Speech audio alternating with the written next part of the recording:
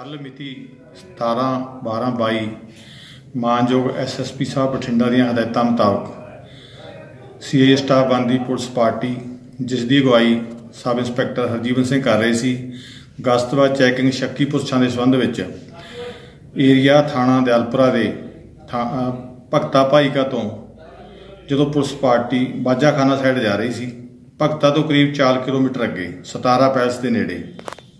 ਖੱਬੇ ਹੱਥ ਇੱਕ ਗੱਡੀ, ਡਾਲਾ ਪਿਕਅਪ ਰੰਗ ਚਿੱਟਾ। ਚਾਰ ਵਿਅਕਤੀ ਖੜੇ। ਕੋਈ ਨਵਾਰਨੁਮਾ ਚੀਜ਼ ਜੋ ਕਿ ਉਸ ਦੇ ਵਿੱਚ ਲੋਡ ਸੀ, ਨਾਲ ਹਿੱਲ ਜੁਲ ਕਰ ਰਹੇ ਸੀ।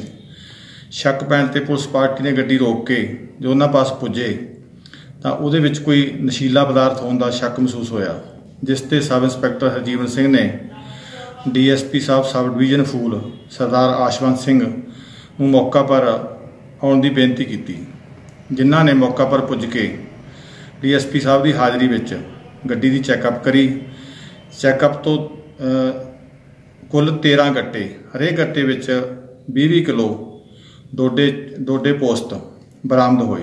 ਕੁੱਲ 260 ਕਿਲੋਗ੍ਰਾਮ ਡੋਡੇ ਪੋਸਟ ਬਰਾਮਦ ਹੋਏ, ਜਿਨ੍ਹਾਂ ਪਰ ਚਾਰ ਵਿਅਕਤੀਆਂ ਨੂੰ ਕਾਬੂ ਕਰਕੇ ਮੁਕੱਦਮਾ ਨੰਬਰ 173 ਥਾਣਾ ਦਿਆਲਪੁਰਾ ਦਰਜ ਰਜਿਸਟਰ ਕਰਕੇ ਮਾਨਯੋਗ ਅਦਾਲਤ ਵਿੱਚ ਪੇਸ਼ ਕਰਕੇ ਇੱਕ ਦਿਨ ਦਾ ਰਿਮਾਂਡ ਹਾਸਲ ਕੀਤਾ ਗਿਆ ਹੈ। ਹੋਰ ਕੁਝ